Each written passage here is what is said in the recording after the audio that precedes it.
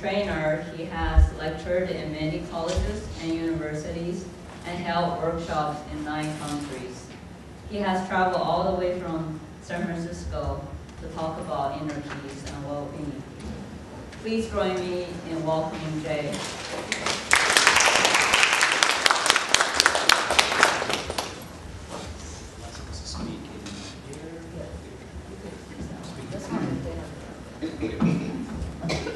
Well, Dana, thank you so much for welcoming me. Thank you for having me here this morning. Are you able to hear me? Yes, I guess you are. Okay. So how about I just take this out and just walk a little bit? How's that? Oh, better. So, bright and early in the morning, you're all here to hear about, listen to happiness, huh? Right, so um, we have 15 minutes, as I understand, so we're going to whip through this lesson on happiness. And uh, the first question I have for you all is, think about a moment in your life which you would define perhaps as the most happiest or one of the most happiest moments in your life. And when you're ready, you can share them with us.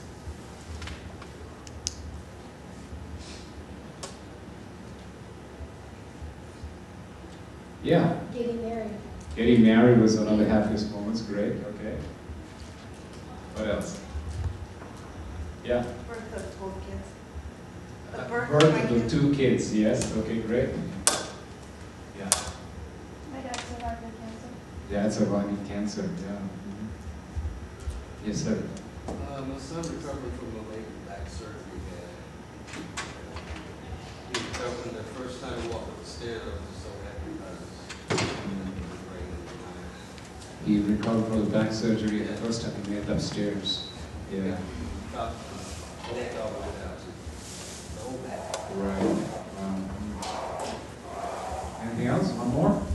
Yeah. You're baptized.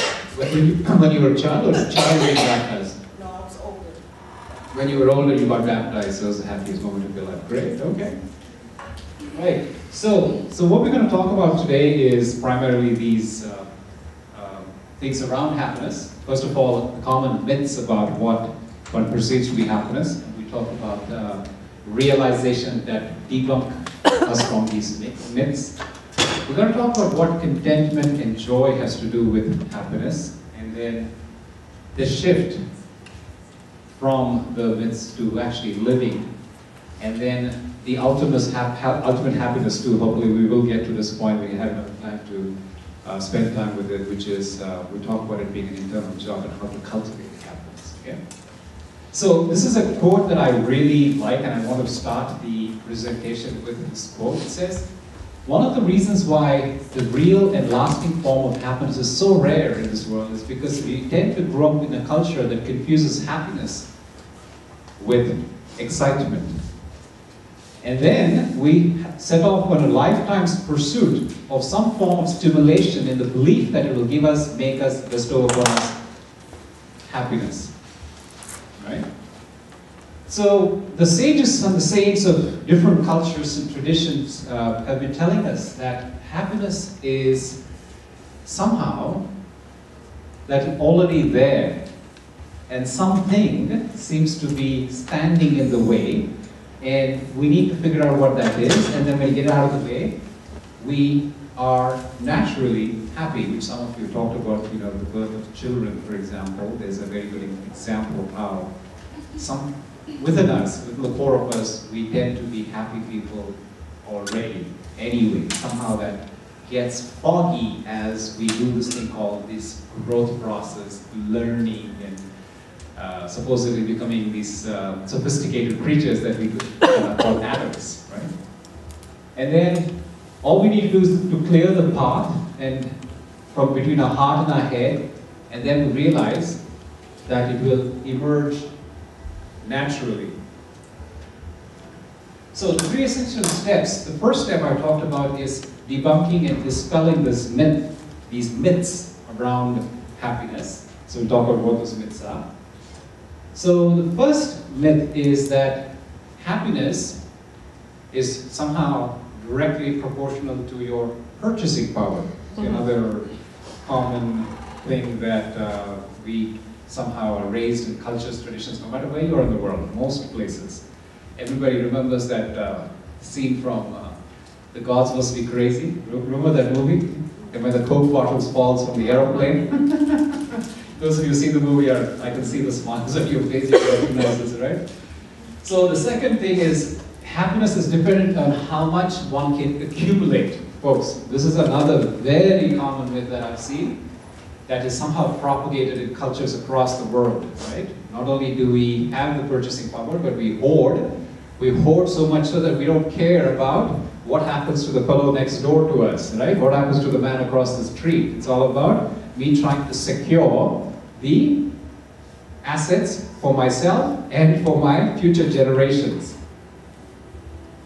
Which, if you have any experience in life, that is clearly not directly proportional to happiness. We see a lot of people with a lot of wealth, a lot of people with a lot of purchasing power, a lot of people who accumulated for seven generations who are uh, not somehow uh, reflecting, oozing that happiness. And happiness has to be earned. Know, this is one of those things that we, some cultures, some traditions, they tend to say that you have to work really hard. and when you work really hard, you deserve happiness. Yeah? And happiness is the achievement of your dreams and desires. Right? So there's a very interesting thing that uh, I read in a in a editorial section of a newspaper one day. It was just randomly picked up. I don't I don't even remember the last time you guys picked up a newspaper. I hardly pick up newspapers. But this one time I was sitting somewhere and I read this article and it was talking, some sort of a philosopher who was talking about, you know that moment when we aim for these things called, you know, our goals, our desires, right? So we aim for some, achieving something. It's that little moment at the moment when we achieve that. So let's say I wanted to get that you know, some car, or you want to buy the house, or you wanted to win that medal, or achieve that degree, or whatever it is, right? So the moment that occurs at the point when you just satisfy that desire, and before the next desire kicks in, it is that sliver of moment when we experience a sense of being content. You see? So it is not really the achievement, but the state of lack of a desire that is seemingly that moment that makes us really happy. Okay? I thought that was pretty profound. Uh, and happiness is always in the future, right? So it seems to me, those of you who've grown up in those cultures, and I have, I particularly would tell you, when you grow up in uh, an Eastern culture, you know, first they want you to just graduate from fifth grade, right? Mm. Then the next thing at the end of fifth grade, you just want to graduate from high school. That's all. we just want you to graduate from high school, and then everything will be fine. you get to the end of 12th, uh, you know, uh, high school, you want to just get through your undergrad program, and then just get through your master's program, and hopefully they don't push you to PhD. In my case, they didn't. And then they just want you to go get a great job, and they just want you to have that, you know, lovely two kids, or they just get you through college for those two kids. It never ever seems to say, okay, I'm there, I've arrived. It's always sometime that is always in the future, and that is a sort of a you know dog chasing its own tail seems like. Uh, happiness is only possible when everything is perfect.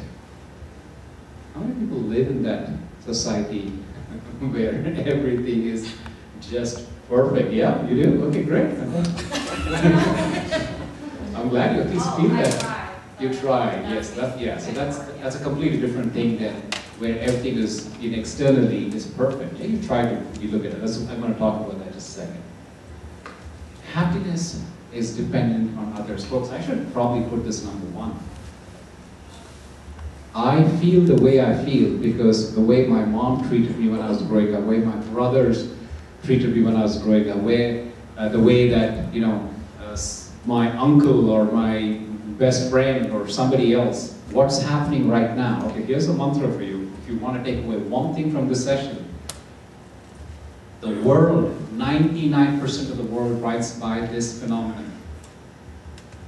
how do I feel is based on what's going on. How I feel, what's going on, so therefore how do I feel? What I'm here to talk to you about today about is how do I feel, therefore what's going on. Okay? How do I feel, therefore what's going on. So happiness is not dependent on other others. And so like the lady said there, it's the, this 14-year-old had this wonderful quote, being happy doesn't mean that everything around you is just perfect. It means that you've decided to look beyond the imperfections and look at the things that are really going well. Look at things that are going for you. Okay? Look at all the things that you've been blessed with. Right? So let's talk about the next essential step of happiness, that exploring the deeper meaning of happiness in order to affirm three realizations. So what are these three realizations? Number one, that happiness is an inside job. Happiness is not something that you buy at Target or Walmart. Happiness is, if, if you could, then there will be all those people who hoarded a lot and who have a lot of purchasing power, who have, who could have just gone ahead and bought endless amounts of happiness. If you, I take three examples that I just seen in my life, or well, not really in my life, but I've read and seen in my times. So there are some very famous stars that I can think of, both from uh, entertainment and uh, media personalities. Elvis Presley, Marilyn Monroe, Michael Jackson, right? So these are people who, when whatever they touched became gold, platinum production, right? These are people who have amazing purchasing power, amazing amount of wealth. They could get whatever they wanted on this earth. But just look at the way they left this world. Right? Clearly, this thing that you have out there is not at all proportionate to this thing that we are set out on a lifetime's journey, which is to find happiness, right? So it is not a, an outside job, it is a something that seems to be a matter of inside. We'll talk about this some more. And happiness is not excitement. Yay, I'm going to the theme park today. Yay, somebody's going to buy it, you know, bought me flowers today. Because the opposite of excitement, because excitement lasts so long, it is an emotion that will, you know, stay as long as that particular, um, you know, so high, and the opposite of that is going to kick in pretty soon, right? This is all just there to stay, which is what I talk about here. Happiness is not a state of a high, which obviously has a uh, antonym, which is a low, an opposite, which is a low. Right? Happiness is a steady state of being. So what does a steady state of being look like? So here's, an here's a quote from the famous Beatles man.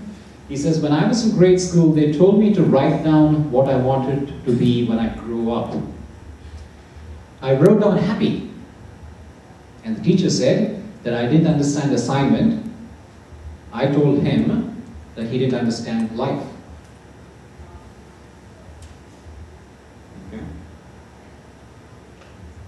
So, what is, so we talked about all the things that what happiness is not all along, right? So now let's get into that phase where we talk about, so then what is happiness? Happiness is constitutes of two things that I um, find is uh, what, if one can understand these two things and one can spend time cultivating these two things, one is going to have raised their natural state of well-being and happiness. So number one, it's a state of undisturbable contentment. Okay? Contentment, we'll talk about what that means.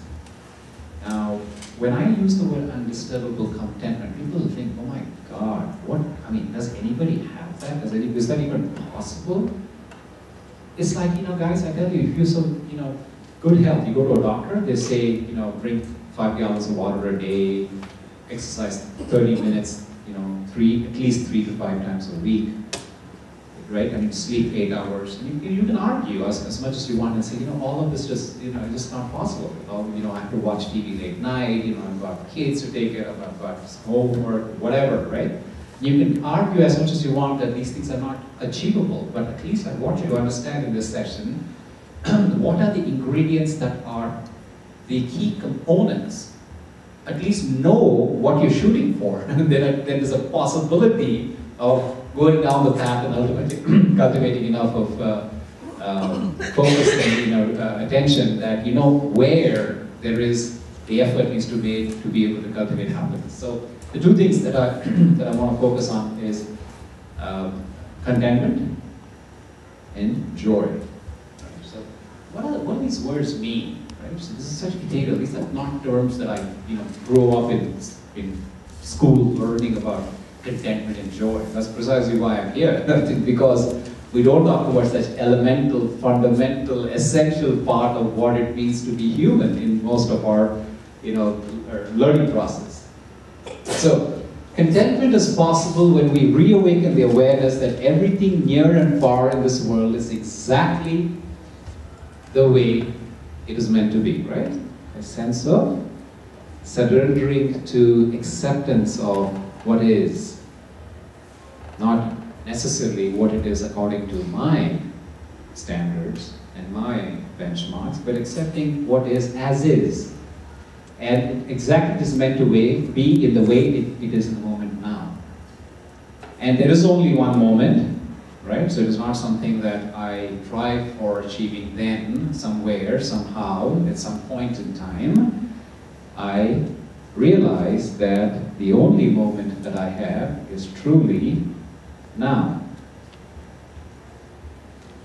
And you're able to accept everyone as they are at every moment in every situation. So what does that mean? That we create act, okay, so accepting everyone as they are at every moment. So we talked about that earlier. I think the lady also mentioned it, that it is not that they are perfect. Nobody is, not even, neither am I. But there are specialties, there are qualities, there are virtues in every person. And if I can put my attention on that, I mean, there's hundreds of different attributes to every individual, but if I can focus on that, automatically what it does is it makes me recognize and respect that person, which does the opposite, also has an opposite effect where that person begins to respect and recognize my virtues and talents because it's already putting a positive energy in that relationship. And then there's a third thing that happens, which is we tend that when we focus on something, that tends to rub off on us. Whether it's your negativity, whether it's personal negativity, or it's it's virtues. So when I focus on somebody's goodness, I subconsciously will begin to embrace and embody those virtues. So we create actions aligned with what is true within ourselves so that we can make the most effective contribution to the world. This requires, folks, this requires some amount of spending time with oneself. I experience contentment when I'm doing, when my walk is aligned with my talk, is what I'm trying to say here in this bullet point. And when my walk is aligned with my talk, I can only do that when it's really, it really means something to me. And I tell you folks, from experience, without going into all the details, we don't have time. I have talked about these topics to people in my groups, which sometimes they're 80 year old people. When I talk about these things like who are you, what is your purpose in this world, what's your value system, they'll stare at me as if I'm talking Zulu or Swahili. nobody, well, most people, I shouldn't say nobody, most people haven't spent time understanding these fundamental aspects about themselves. And this is something that, again, it does not require a lot of training, lots of hours. It requires a certain amount of quiet space in your life. Just intermittent five, ten minutes, 15 minutes. Take just time out when you're not having an iPod blaring in your ears, when you're not playing your Xbox or not staring at TV, watching those endless ads. It's just quiet time between things, maybe going for a walk, maybe running the treadmill, maybe just, you know, waiting for the bus or riding the bus even. Just a reflective process, which I'll kind of give you a hint on where one understands, one just try to ask yourself, who am I? What am I here for? What is my value system? What, what really means something to me? What's my purpose? Why am I here in this world? In each one of us, I tell you folks, we are all facets of this beautiful mosaic. We're all different. You could have twin brothers or twin sisters, and both of you do realize that your purpose in life, your understanding of what is your alignment with your highest purpose is going to be slightly different. And your mama can't tell you this. Your best friend cannot tell you this. Your teacher cannot tell you this. This is something that one has to find out for oneself. And then, that is an amazing thing that in the process of when you are doing things that are aligned with what you're here for, the universe, the energy works through you to manifest that which you wish to do.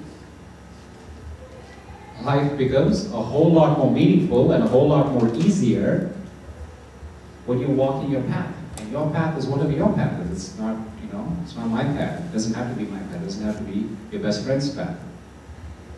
Choices in life become so much easier when I have pre-meditated, it's interesting word, right? Pre-meditated, right? If I've already figured out what is my purpose, and when I have this instantaneous moments, click, don't click, buy, don't buy, do, don't do, go, don't go, say yes or say no, instantaneous you don't have that time to, at that point, sit down and look at all the pros and cons of life, right?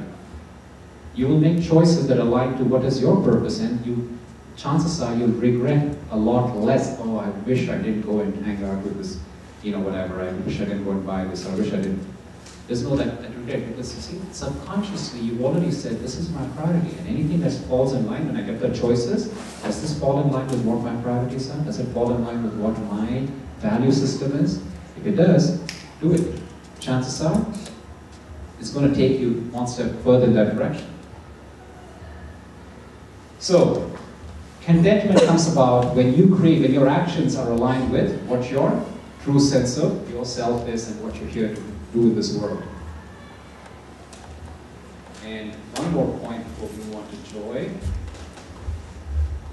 That in contentment, others are seen not to be, when, when others are seen not to be acting in alignment with what is true, uh, with what is true in them, our response is not of judgment, but one of compassion and understanding.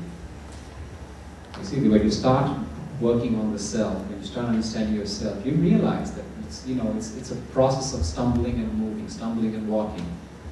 It's not, it's not, you know, a walk in the park by any means. So when you, when you have done this introversion or self-reflection, you begin to feel for the obstacles in others' ways and not be one of judgment, but be one who has compassion for this. And I tell you folks, compassion is a major contributor to one state of contentment, which then becomes a major contributor to one state of happiness. So the next thing we talked about is unbridled joy. So what is joy? Joy is only possible when our life flows into the world free of any desire for, or, for any part of that to flow back towards us. Think about those times when you give unselfishly, unattached uh, attached to the result that I should be recognized, I should get this in return, this particular remuneration. The greatest joy is when you find your purpose, when you're living your life's, you know, uh, purpose. It comes from a state of abundance and not because you're paying me this much, you're saying this to me, you're going to do this for me, you're going to buy me this, you're going to uh, uh, honor me in front of people, you're going to say good things about me in front of people.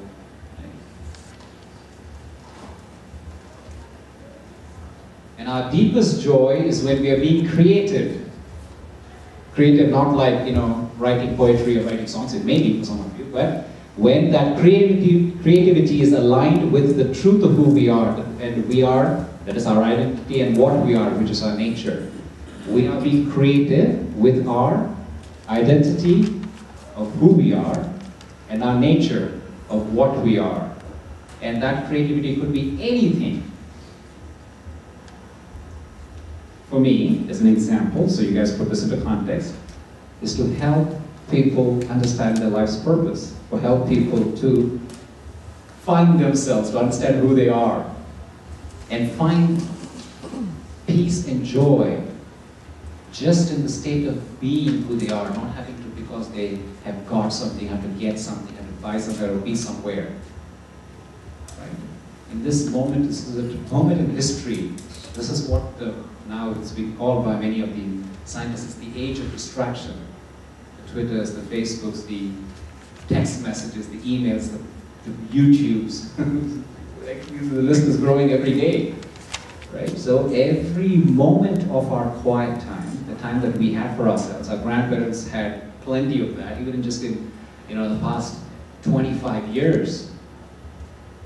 We live in a stage where we're constantly distracted. No time to reflect on some of the fundamental things, and we live in a state of time where the technology, advancement in medical science is at its greatest levels, stress levels are also at their greatest levels, frustration levels, divorce rates, teenage pregnancy, all of these things are spiraling in a direction that is getting uncontrollable. And I find it very important to help people to create space. Very important to help people to slow down. This stuff is not sustainable. Mark my words. This bombardment of technology or adoption of technology is not humanly sustainable. I was giving a workshop at a hospital about 10 days ago in California. Uh, 60 doctors signed up, 100 doctors showed up at the, at the talk. And I asked them some fundamental questions. I tell you folks, and I'm talking about doctors because they are supposedly responsible for our well-being. We really are, but you know, so we subscribe, we outsource our, our well-being to these folks.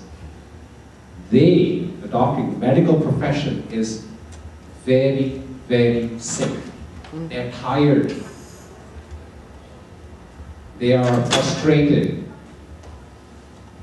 And if the doctors who are supposed to be helping us heal, helping us to recover, helping us to strengthen, revitalize ourselves, if they are a frustrated, tired, exhausted, anxious bunch, distracted bunch, it just flows downhill from there. You know what I'm saying? So we take responsibility for our own well-being. And you might have studied this heard this, if you haven't, you hear it now. 80% of all diseases are psychosomatic. 80% of all diseases are psychosomatic. It has got direct relationship with how I feel. How I feel, nothing to do with my vital statistics. I'm talking about how I feel here. And that's why when you talk about any of the contemplative practices, the Eastern traditions, the ones that have been there for thousands and thousands of years, they will talk about fixing this. How you're feeling, how you're thinking has got so much to do with your physical ability, how you heal oneself, starting with your thoughts. So, creating the most appropriate response. This is, this is a fantastic thing. So one of the things about joy is creating the most appropriate response to meet the needs of the people near you and in the world around you. Somebody asked this question about what is intelligence? I see that tied to this. Intelligence is not about studying at Stanford University and getting a PhD in, you know, molecular biology. Right? It's not about understanding the stars and the astronomy. It is quite simply the ability to understand what to say, when to say, and how to respond to the person in front of you. Do you guys get that? Intelligence is the ability what, when, and how to respond to the person in front of you. That is the greatest intelligence. So, creating the most appropriate response to meet the needs of the people around you gives you a sense of joy because it creates a relationship, it creates an energy flow, it creates a sustainable, you know, uh, rapport that one feels a great sense of joy. And when you are in what they call, psychologists call the flow, when you're in the flow, You guys get it? Some of you nodding your so you get it. When you're in the flow, you stop looking at the clock. When you're creating with alignment to your who you are and what you are here for, you stop looking at the clock. You probably have those moments when food doesn't mean anything, no sleep doesn't mean anything. You're just completely in your, what's the word? Zone. Where you're completely in your zone. And energy is flowing free through you into the world. And I don't care if that means reward, accolades, or attention. Right? So I've got a video to show you. It's a 10 minute video, and then we'll talk about it some, we'll try to wrap up after that.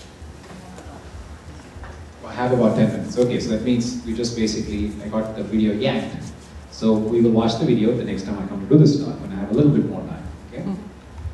All right, so now heading to the final stretch. Um, so the shift, we talked about what the shift is. So you know, so we talked about what happiness is not, the myths around it, and we talked about what leads to happiness, contentment, and joy.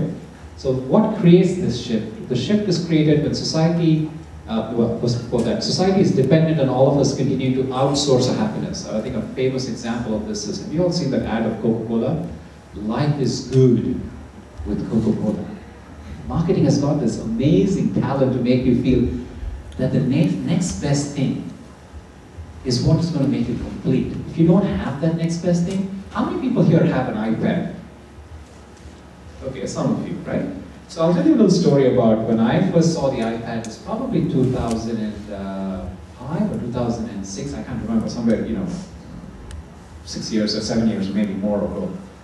A friend of mine, uh, I met him in New York, and he iPad One had just released, and I, you know, he showed it to me. I was just so excited about it. I'm like, why would I want that thing?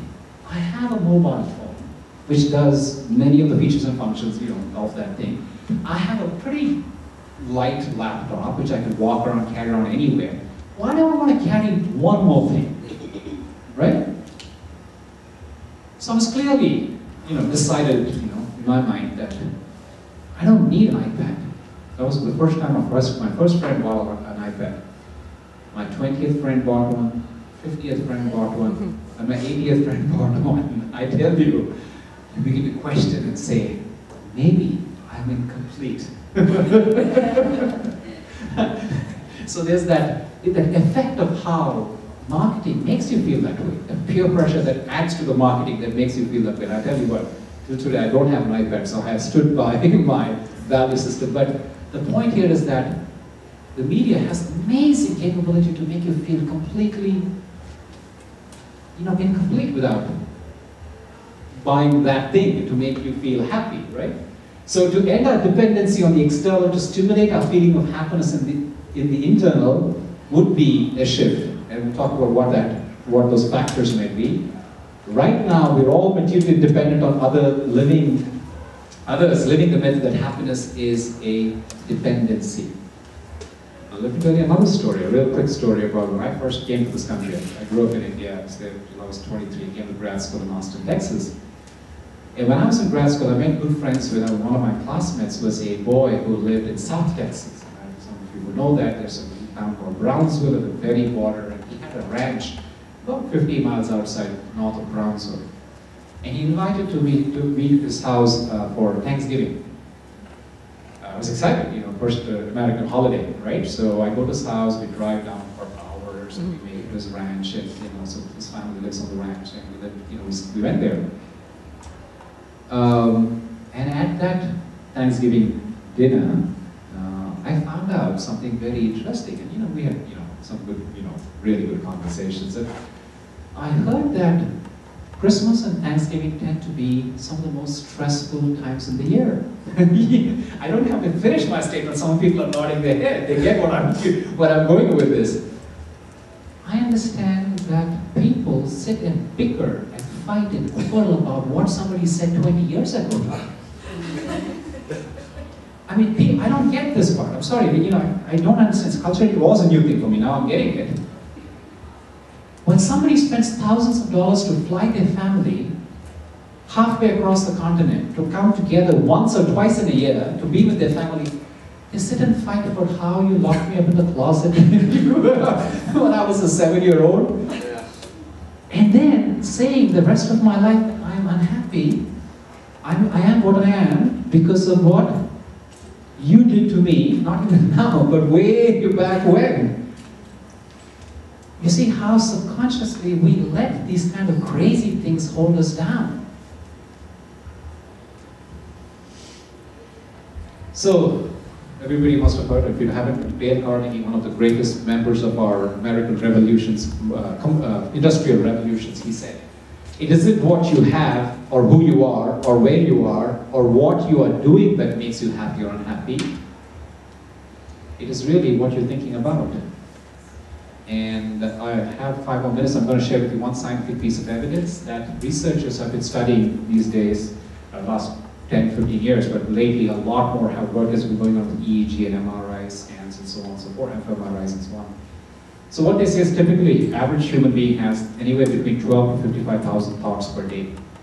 Think about rice farmer in China, 12,000. Think about stockbroker in New York, very likely 55,000 thoughts per day or more. If you whittle that down to the per minute level, they say that typically human being is having anywhere from 5 to 25 thoughts per minute. And what they're saying, interestingly, is that if you are in that range of uh, first scenario, if you're in a scenario where, let's say you're at a beautiful beach in Hawaii, one of the most exotic places in the world, sitting and watching the beautiful sunset, and if your mind is whirring at a speed of 25 thoughts or greater, you're experiencing sorrow, peacelessness, and discontent. You guys get that? You're sitting on a beautiful beach and your mind is running at a speed of 25 thoughts per minute or greater. You are naturally unhappy and discontent. And opposite of that, you could be sitting in a fish market in India, and if your mind is working or your brain is producing thoughts at five minutes or less, five thoughts per minute or less, you are experiencing peace, contentment, and bliss. How's that for data? Okay? You guys understand that? You guys have been to a fish market in India? Mm-hmm. How come you understand that? okay, I'm just kidding. Alright, so moving on, we have a reflection, meditation exercise. Okay, so let's do that real quick. I have some questions for you at the end of that. Sit down somewhere.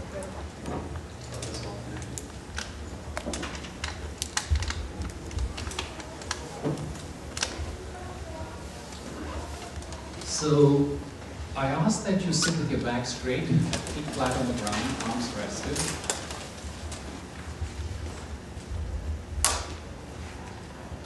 I ask that you start by taking in some deep, comfortable breaths. Breathe in to your stomach, not just into your lungs. Just like when a baby is sleeping very peacefully. You'll see the rise and fall of the stomach, not the chest.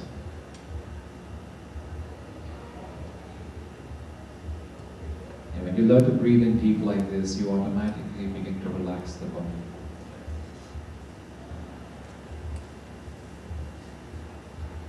Now, just step back and observe the thoughts that flash on the screen of your mind. Just look at them as if you're looking at a TV screen. Just observe without judgment, without resisting them. Or getting carried away by the thoughts. Just step back and observe what is flashing on the screen of your mind.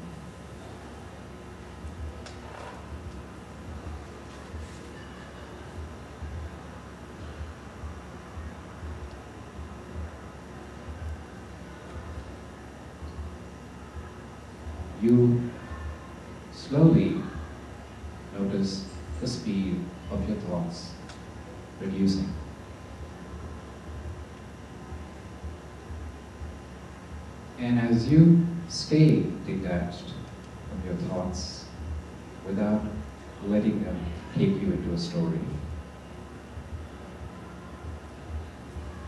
you begin to become present.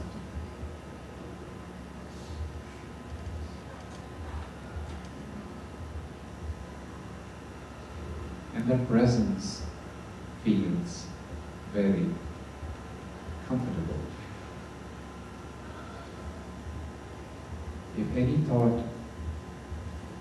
take you away, distract you, just tell yourself, better. I want to stay in the state of presence for a minute, and then when I'm done, I'm going to come back to this thought.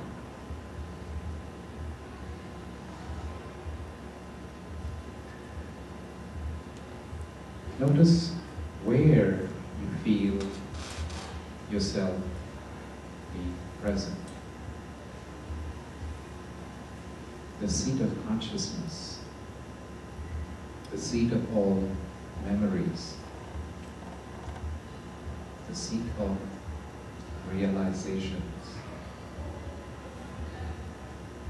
sits right inside your head, somewhere just below the brain, somewhere just behind the eyes, somewhere between your ears.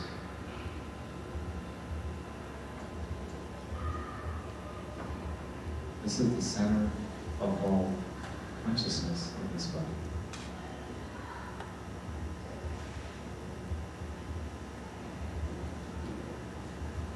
This is the state of being here and now.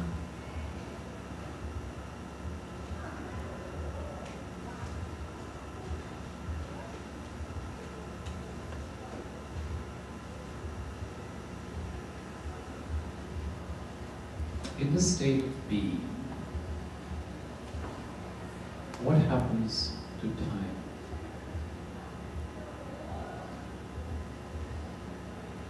Time becomes irrelevant. Does the being need anything to become complete?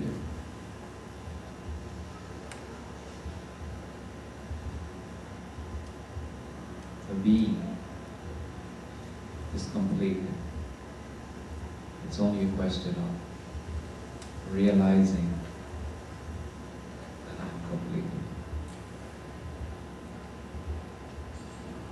Does the being need any knowing to become any more than what it is?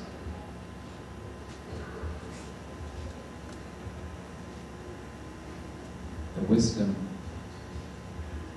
that I need to be what I want to be is within me. It's a matter of tapping into that great of wisdom.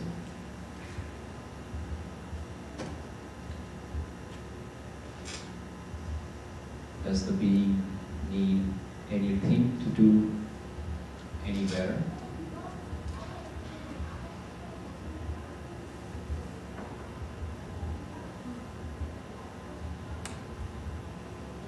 the being is already content.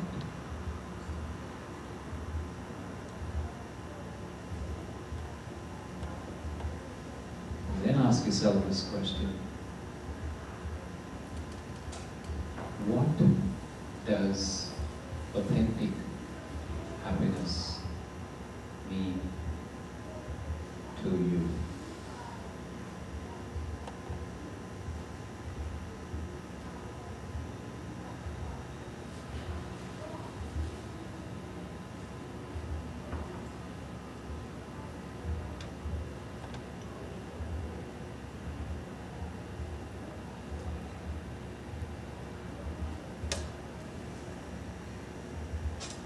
Thank you. You might want down some of the feelings, the realizations that you got to those questions, especially the last one, what does authentic happiness mean to you? Um, I'd like to just kind of wrap up here. What we talked about today is real happiness is not a high or a low. It is not something that's acquired or can be accumulated from the outside. Neither is it a stimulation that is an excitement that comes and goes. It is not in anything or not cannot be found anywhere. It is an inside job, as we talked about. Obviously, if it can't be bought, it can't be earned, nor can it be stored. It certainly cannot be manufactured or prepackaged. So, I'll leave you with these four tips. Learn to meditate. If you already have a meditation practice, please use it. Practice bit unless you actually use it. Uh, we have lots of free online resources. LearnMeditationOnline.org is a great resource. Lots of videos and guided commentaries and so on, like the one you just heard. Spend time with like-minded people, friends, community that have elevated goals in life. You become an average of the people you hang out with. Right? So it's a philosophy that's good to remember. Make time to be what. Make time to remember what you're grateful for. Gratitude is a very important element in how I'm feeling. The opposite of gratitude is entitlement, folks. That is the drain for your state of well-being and happiness. This is my email. I write a weekly blog. If you're interested in keeping in touch, want to get updates, have any questions, hit me up questions. Otherwise, I'd like to say thank you. Stay happy. Shine on.